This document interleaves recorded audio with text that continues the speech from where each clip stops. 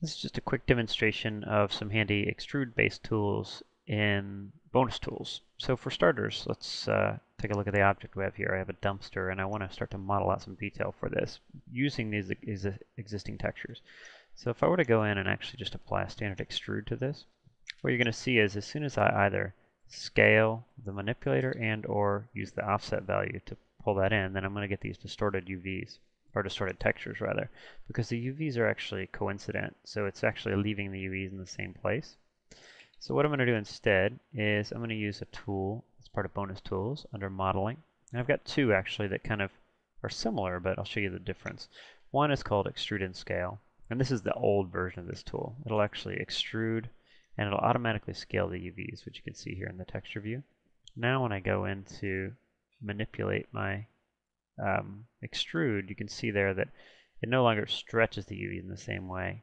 It gives me kind of a starting point for doing some corrections. So now I can go in and I can actually grab the UVs and then I can begin to scale the UVs accordingly to kind of compensate for the scale in 3D. But this is a very kind of tedious back and forth process. So what I really want to do is have this all happen automatically. So that's where the new tool comes in. So I've got a simple tool called Extrude and Preserve UVs. So when I apply that, what's going to happen is it's going to automatically extrude, or rather automatically preserve the UVs while I'm extruding. So now interactively it'll automatically recalibrate. You'll see when I release, it's recreated the UVs here. If I make that smaller, then I have a smaller UV representation over here. Additionally, I can go in and I can begin to move this kind of along the plane of the face here, and it's automatically going to reposition my UVs for me in that way as well.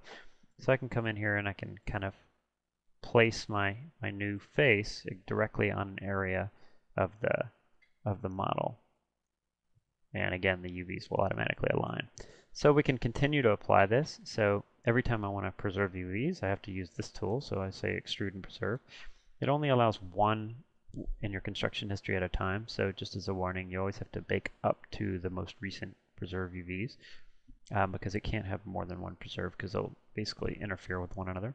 So just say yes and it'll automatically create that new one and then I can come in here and begin to kind of add a little bit of detail to this. So let's just do a couple more extrude and preserves here. This time I'll kind of, whoops, kind of pull this down, something like that. Maybe scale that in a little bit. Once again, we'll do another extrude and preserve. Just gives you the nice little warning there. And now I just kind of taper that in.